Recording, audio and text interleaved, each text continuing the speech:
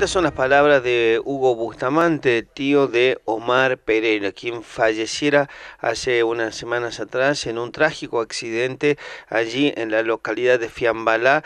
El motivo era un camión de gran porte, logró impactar en, en la humanidad de Omar. Los familiares vienen pidiendo justicia desde ese día.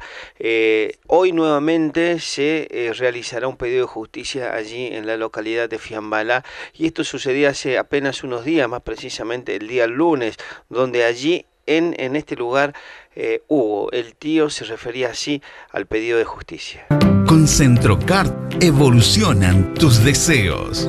Centrocard evoluciona con vos. Bienvenido a tus sueños realmente muy sorprendente este acompañamiento. Eh, la verdad que supera las expectativas, pero es claramente muy notable esta gran demostración de amor, de afecto, de amor al prójimo, de acompañamiento permanente, ¿no? Este, como yo hace un momento manifestaba, la vida nos da momentos agradables, pero también nos da los otros. Y, y esto nos tenemos que unir en el dolor, pidiendo justicia por mi, por mi sobrino de 22 años. Este, hace un momentito también escuchamos el testimonio de una señora de Tinogasta, perdió a su hijo, casi en similares condiciones. Entonces lo que somos conscientes de que no, no nos interesa la plata, es lo que menos, lo que menos interesa, porque ni todo el oro del mundo va, va a compensar la vida de mi sobrino y de cualquier ser humano. Entonces eh, quiero y queremos como familia eh, creer en la justicia, queremos que estas situaciones no sigan pasando porque lo, lo, sostuve hace un momento y lo sigo sosteniendo, tenemos que seguir bregando por la, por la lucha de la vida, ¿sí?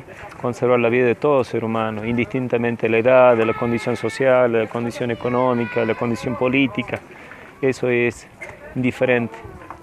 Lo importante es que todos como papá, como miembros de cada de la sociedad, eh, sigamos eh, criando a nuestros hijos como, como, corresponde, sanamente, y que tengamos la tranquilidad de decir, si practican el ciclismo o cualquier otro deporte, que lo hagan sanamente y que vuelvan a casa, como, como siempre esperamos. ¿Tuviera algún tipo de novedad de parte de la justicia? Hasta ahora yo eh, eh, todavía no, eh, espero que mi hermana las tenga, porque con esta movida como que nos tuvimos que distribuir un poco también. Respeto mucho el tiempo de la justicia, el proceso judicial, los tiempos judiciales, pero también respeto la, privacidad, la intimidad que se deben de manejar para con, con mi hermana, con mi familia, con mi cuñado. Y bueno, así que eso no puedo emitir ninguna opinión que sea eh, contradictoria que no sea obviamente verídica. Entonces, eh, supongo que con el transcurso del tiempo irán a surgir las pericias, los informes necesarios y bueno, a ver qué avance va teniendo judicialmente. Nota eh, se va a ver en Catamarca, en Brancasti, eh, un mensaje para los padres de, o familiares de chicos también que han sido víctimas de este tipo de, accidentes.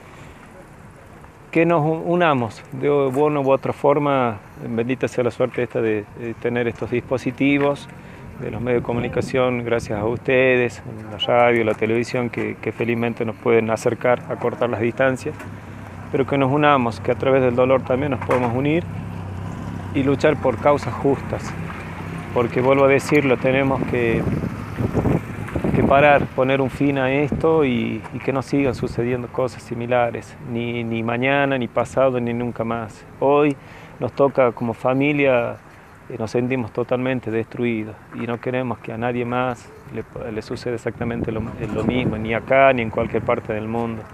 Nos tenemos que solidarizar como departamento, integrar como localidades que somos eh, y luchar por causas justas. Yo creo que la única manera de tomar fuerzas es unidos, si no a veces la lucha se torna muy imposible.